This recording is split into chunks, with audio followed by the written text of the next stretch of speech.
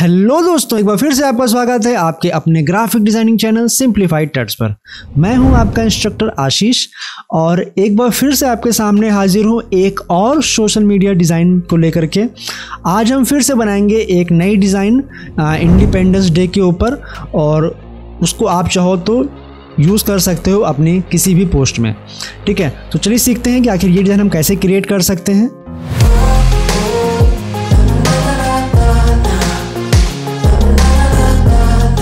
तो ये हम आ चुके हैं अपने कंप्यूटर स्क्रीन के ऊपर। और जैसे कि मैंने आपको पहले भी समझाया हुआ है, बताया हुआ है कि सोशल मीडिया पोस्ट को डिज़ाइन करने के लिए हमें सबसे पहले चाहिए होता है एक स्क्वायर शेप स्क्वायर शेप लेने के लिए हम वापस से आएँगे अपने रेक्टेंगल टूल के ऊपर और यहाँ पे हम एक शेप को ड्रॉ करेंगे। ठीक है? इसका साइज़ हम यहाँ से ले लेते हैं twelve hundred pixel by twelve hundred pixel और इसको मैं यहाँ से सेंटर में प्लेस कर देता हूँ, कुछ इस तरीके से। ठीक है? अब उसके बाद मुझे यहाँ पे कुछ डिज़ाइन क्रिएट करना है इसके लिए। तो मैं यूज़ करूँगा फ्री हैंड टूल का। मैं आ जाता हूँ फ्री हैंड टूल के ऊपर और मैं यहाँ पे कुछ एक एक लाइन या शेप ड्रॉ करने की कोशिश करता हूँ।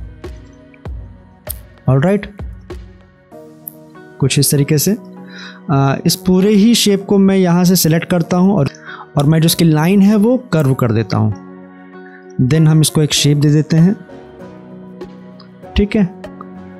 आप वीडियो को बहुत ध्यान से देखना देन आप इसकी प्रैक्टिस करना। और इस तरीके से मैंने यहाँ पे शेप दे दिया है। ये जो एक्स्ट्रा नोड है, उसको हम डिलीट कर सकते हैं। ठीक है?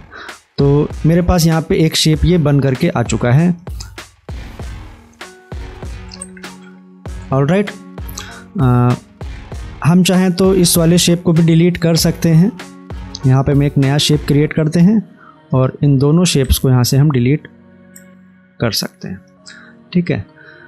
और राइट इतना करने के बाद में मैं क्या करता हूँ? मैं इसी की एक कॉपी करता हूँ यहाँ पर।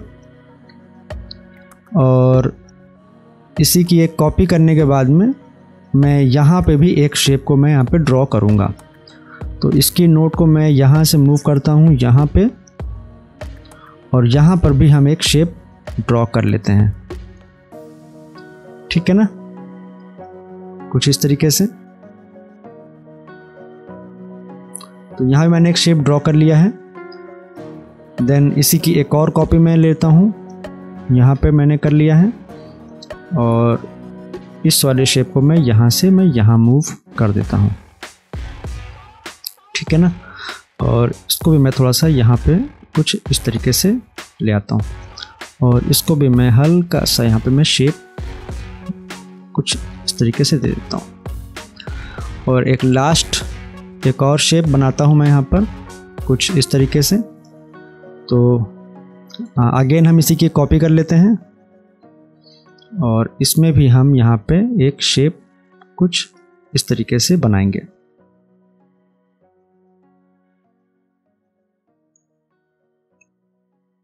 ठीक है ना? अब ये मैंने जो लाइन क्रिएट की है, वो किस लिए की है, वो भी आपको समझ में आ जाएगा। मैं जाता हूँ अपने यहाँ पे स्मार्ट फिल टूल के ऊपर और उस टूल की मदद से मैं यहाँ पे इन तीनों ही शेप्स में एक कलर फिल कर देता हूँ। ठीक है? और अब ये जो मैंने लाइंस क्रिएट की थी, मैं इनको यहाँ से डिलीट कर दूँगा, क्योंकि ये मैंने सिर्फ़ इसीलिए बनाई थी ताकि हमको ये शेप्स मिल सकें। देन डिलीट और अब हम इसमें कलर फिल करेंगे। कलर फिल करने के लिए मैं सबसे पहले यहाँ पे ऑरेंज कलर लूँगा। अपने फ्लैग का। और उसके बाद में यहाँ पे हम यूज़ करेंगे ग्रीन कलर और यहाँ पे हम यूज़ करेंगे वाइट कलर ठीक है ना? इन तीनों में से ही हम आउटलाइन को रिमूव कर देंगे। तो इतना होने के बाद में हमें यहाँ पे चाहिए है एक शेडो अंदर की तरफ़। तो वो हम क्रिएट करेंगे इसी शेप की मदद से। तो हम क्या करेंगे? इस शेप को सेलेक्ट करेंगे और इसी की एक और कॉपी हम यहाँ पे क्रिएट कर लेते हैं। कॉपी क्रिएट करने के बाद में आ, हम यहाँ पे ये जो शेप है इसको थोड़ा सा हम यहाँ पे हमें एक एडजस्ट करना पड़ेगा। ठीक है?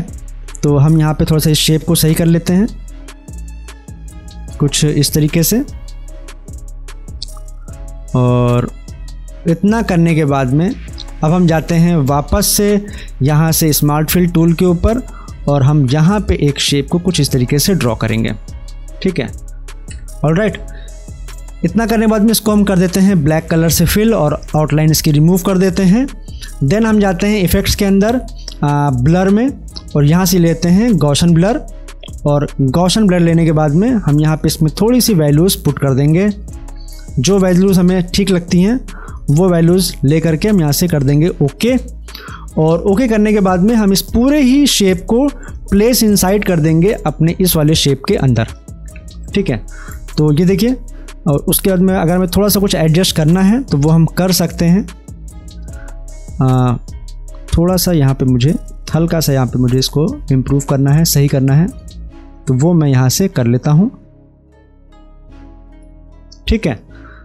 देन फिनिश तो ये देखिए मेरे पास यहाँ पे अंदर की तरफ़ एक हल्का सा ब्लैक शेडो बन करके आ गया है। यही सेम काम हमको इन तीनों ही शेप्स के लिए करना है। तो अभी मैं वाइट वाले को ले लेता हूँ।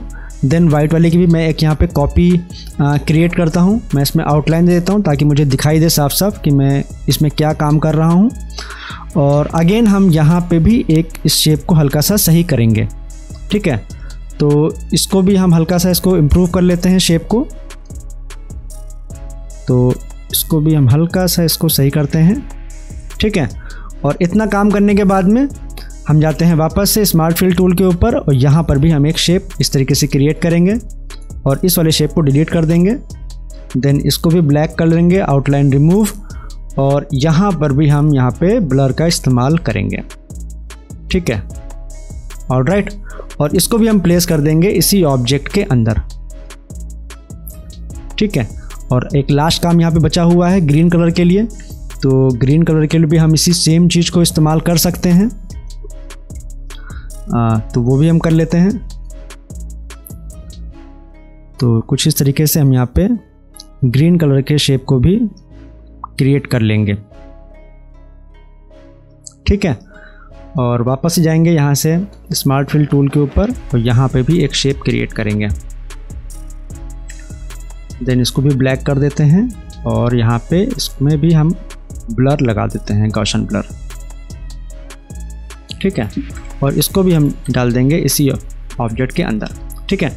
तो इतना तो हमारे पास डिज़ाइन बन करके आ चुका है। अब यहाँ पे हमको लगाना है एक अशोक चक्र का सिंबल तो वो भी हम यहाँ पे क्रिएट करेंगे। वैसे तो मैंने आपको पिछली वीडियो में बताया हुआ है, समझाया हुआ है कि हम कैसे बनाएँगे बट हम यहाँ पे फिर से इसको एक नया क्रिएट कर लेते हैं। तो मैं यहाँ पे ले लेता हूँ एक सर्कल ठीक है? और इस सर्कल को लेने के बाद में मैं इसी की एक कॉपी लूँगा अंदर की तरफ़, ठीक है? और इसकी एक और कॉपी मैं लूँगा यहाँ पे अंदर की तरफ़ थोड़ा सा ठीक है ना?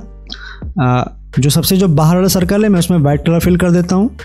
देन उसके जो अंदर का सर्कल है मैं उसमें ले लेता हूँ ब्लू कलर और जो सबसे अंदर का सर्कल है मैं उसमें फिर से ले लेता हूँ वाइट कलर ठीक है? इतना करने के बाद में मैं यहाँ पे सेंटर में एक और शेप बनाऊँगा छोटा सा ताकि मुझे सेंटर लेने में आसानी रहे, ठीक है? और अब क्या करूँगा, इसी सर्कल की एक कॉपी लूँगा, हल्की सी बड़ी करके, और मैं उसको यहाँ पे ऊपर की तरफ़ या मैं यहाँ पे प्लेस कर दूँगा। ऑल राइट इतना करने के बाद में मैं इस शेप की एक और कॉपी बनाऊँगा, इन दोनों को सिलेक्ट करूँगा, और ब्लेंड टूल की मदद से मैं इन दोनों को आपस में ब्लेंड कर दूँगा। ठीक है? सॉरी मैंने टूल गलत चूज़ किया हुआ था। मैं यहाँ पे ब्लेंड टूल लेकर के इन दोनों को आपस में ब्लेंड कर दूँगा और वैल्यू कर दूँगा यहाँ पे ट्वेंटी टू ठीक है? ट्वेंटी टू वैल्यू करने के बाद में आ, मैं क्या करूँगा? इसको पूरे को सिलेक्ट करूँगा न्यू पाथ क्रिएट करूँगा और मैं इस पाथ के ऊपर इसको मूव कर दूँगा। ठीक है? देन ये जो सर्कल है लास्ट वाला मैं इसको चूज़ करके मैं यहाँ पे प्लेस करूँगा। ऑल राइट तो कुछ इस तरीके से देखिए हमारे पास में यहाँ पे ये सारे ही शेप्स बन करके आ जाएँगे।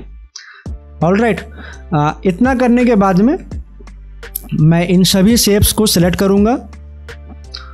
और सिलेक्ट करने के बाद में मैं क्या करता हूँ, इसको ब्रेक ए पार्ट कर लेता हूँ ताकि ये सारे शेप्स जो हैं वो अलग अलग हो जाएँ, इस ऑब्जेक्ट से अलग हो जाएँ। ठीक है? तो मैं क्या करता हूँ, इसको सिलेक्ट करता हूँ और मैं ऐसे कंट्रोल के दबाता हूँ। तो ये ब्रेक के पार्ट हो चुका है। अब देखिए क्या हुआ है। ये शेप पूरा ये अलग मूव कर रहा है। ठीक है? अब मैं क्या करता हूँ, इसको सिलेक्ट करता हूँ। ये जो नीचे वाला शेप है, इसको भी सिलेक्ट करता हूँ और इसको मैं कर देता हूँ ट्रिम ट्रिम करने के बाद में ये जो शेप अब जो था, इसका मेरा काम ख़त्म हो चुका है। मैं इसको डिलीट कर दूँगा। और मैं यहाँ से वापस से लूँगा एक रेक्टेंगल टूल एक मैं यहाँ पर रेक्टेंगल ड्रॉ करूँगा। इसको मैं रोटेट कर दूँगा। ठीक है? कुछ इस तरीके से। कुछ, इस तरीके से मैं इसको रोटेट कर दूँगा। देन अब मैं इसको हल्का सा पतला कर दूँगा। ठीक है? ये मैं यूज़ करूँगा इसके अंदर की तीलियों को बनाने के लिए। ठीक है?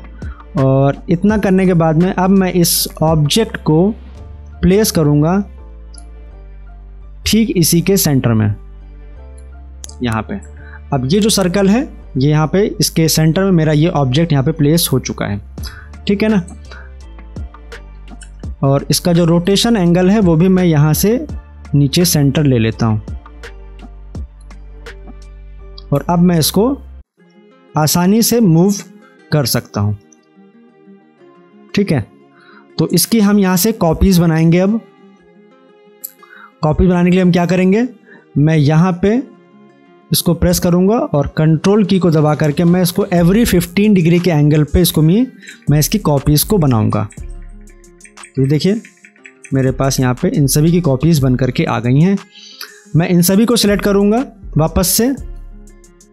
ये जो सर्कल है, इसको भी सिलेक्ट करूँगा मैं। मैं क्या करता हूँ, मैं इन सभी को वापस से सिलेक्ट कर लेता हूँ। और मैं इसको कर देता हूँ ग्रुप ठीक है? जो जो नहीं आ पाए हैं, मैं उनको भी वापस से मैनुअली सिलेक्ट करूँगा। और उनको भी मैं इस पूरे ही शेप के साथ में, जो मेरी तीलियाँ थी उनको मैं आपस में ग्रुप करके मैं इसमें भी एक कलर को फिल कर दूँगा। ठीक है? हल्का सा छोटा कर देता हूँ मैं इसको। आउटलाइन को रिमूव और ये जो अंदर का शेप था सर्कल वाला, अब मैं इसको सिलेक्ट करूँगा। आई थिंक वो डिलीट हो गया शेप तो मैं यहाँ से एक नया शेप क्रिएट कर लूँगा। और मैं इसको भी यहाँ पे ब्लू कलर दे देता हूँ। ठीक है? तो कुछ इस तरीके देखिए, मेरे पास एक यहाँ पे शेप क्रिएट हो जाएगा।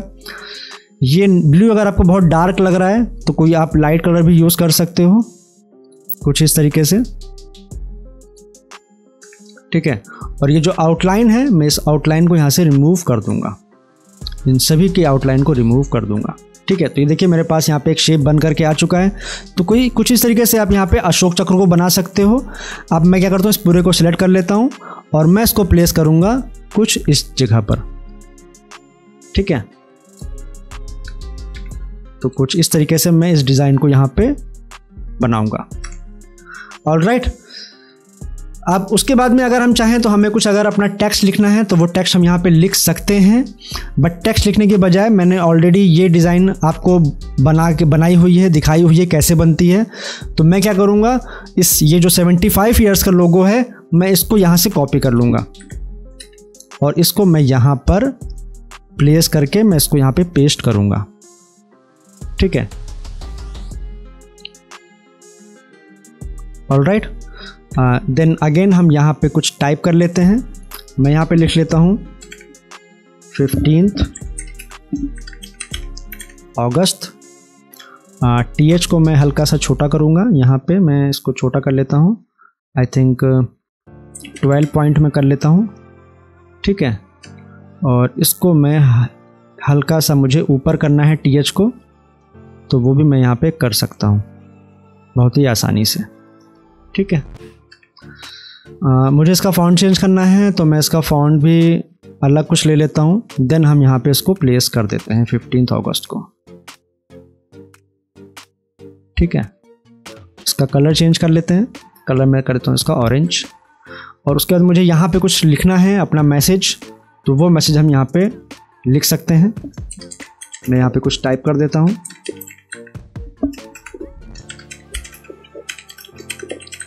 Love India live in India and make our India pride in world by being Indian ठीक है? और इसका भी मैं यहाँ से फाउंड यहाँ से मैं चेंज कर लेता हूँ। इसको थोड़ा सा छोटा करता हूँ और इसको मैं यहाँ पे इसको मैं प्लेस करूँगा। हल्का सा और छोटा। अभी इस परफेक्ट है। ठीक है? देन हम यहाँ पे लिखेंगे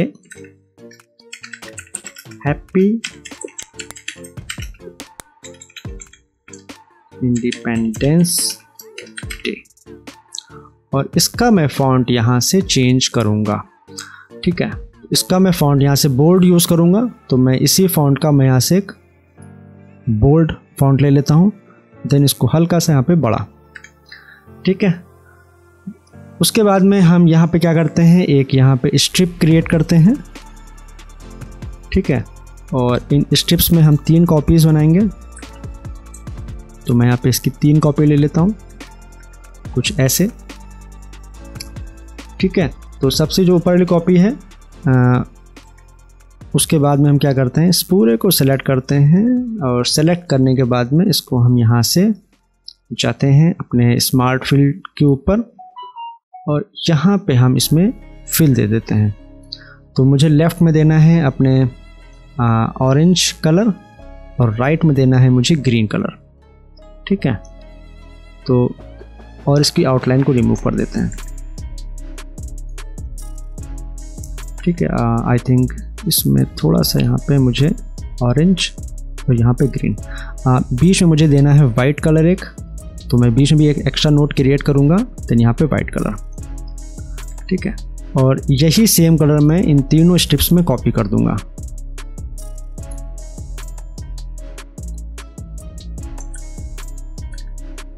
ठीक है यही सेम कलर मैंने तीनों स्ट्रिप्स में कॉपी कर दिया है.